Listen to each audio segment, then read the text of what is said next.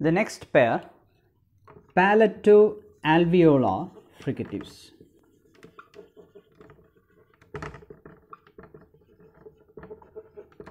Here the articulating organs involve the palate or the roof of the mouth as well as the alveolar ridge.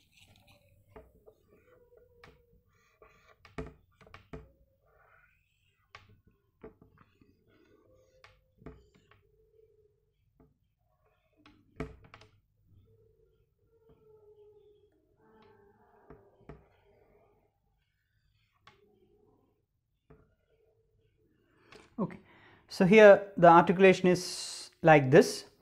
The tip or blade of the tongue approaches the upper portion of the teeth ridge, the post alveolar portion.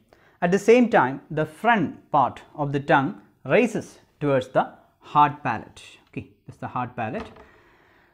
So, the air from the lungs reaches the oral cavity, the soft palate is raised preventing the nasal passage of air and the air escapes through the narrow gap between the front part of the tongue and the hard palate producing audible friction. So, we have two palato-alveolar sounds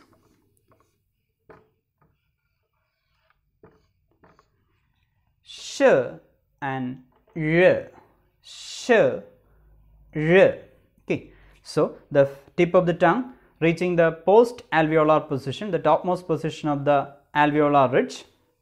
The front part of the tongue raises towards the hard palate, the air escaping through the narrow gap between the hard palate and the front part of the tongue producing audible friction or a hissing sound as sh and zh.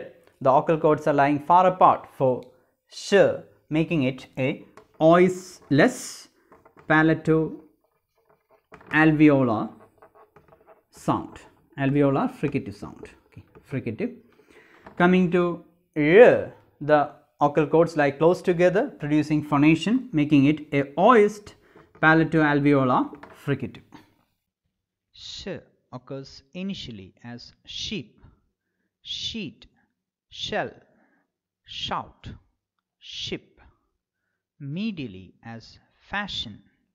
Lotion ashes portion, social, and finally as cash, wish, bush, brush, rush.